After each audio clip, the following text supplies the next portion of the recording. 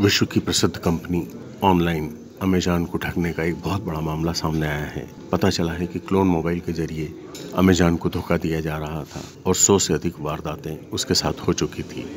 Clone mobile के ज़रिए Amazon को ठगने का यह एक अनोखा मामला है, जिसकी तहकीकात इंदौर पुलिस द्वारा की गई और फिर इसका पर्दाफाश हुआ। कुल मिलाकर होता यह था कि क्लोन मोबाइल को, अमेजान को क्लोन मोबाइल असली प्रदर्शित कर एक्सचेंज ऑफ़र के ज़रिए नए और ब्रांडेड मोबाइल बुक कराए जाते और जिन पर भारी छूट प्राप्त कर क्विकर, ओलेक्स और अन्य माध्यमों से बेच दिए जाते थे। जब ये क्लोन मोबाइल अमेजान को प्राप्त हुए, तब अमेजान के अधिकारियों के सामने इसकी पोल खुली और धोखाधड़ी की जानकारी मिली। गैंग चार से छः हज़ार रुपये कीमत के क्लोन मोबाइल अमेजान को देकर प्रति मोबाइल दस से बीस हज़ार रुपये तक का मुनाफा कमा रहे थे।